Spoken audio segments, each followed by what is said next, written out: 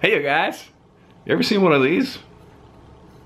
This is the first form of popular recorded music called a cylinder, invented by Thomas Edison, popular from about 1900 to 1920 when those crazy flat records came out and made the cylinder not as popular anymore. Uh, played on a machine like this one. This is an Edison Amberola. So keep in mind this is from about 1910.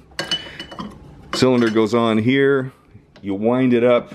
So it's totally mechanical and acoustical energy. Here's the little switch. Clunk starts it to revolve at 160 RPM.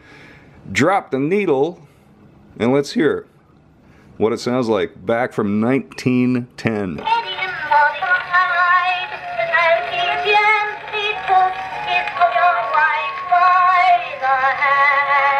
Well, that's all well and good. You sound great, darling. Thank you very much all these years later. Um, there was also quite a bit of comedy done. Of course, everything that Edison did, he, uh, he put his image on. He's a very humble man. Here's a, a comedy duo. So they actually did comedy on here as well. We'll kick it on. We'll put the, drop the needle, as they say. You made the edit you have the paper for the year.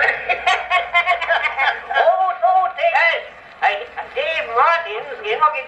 this farm. I don't know. They don't seem to be speaking English, but there you go. This is an Edison Amberola from 1910. It's the first form of popular music still working today. Awesome.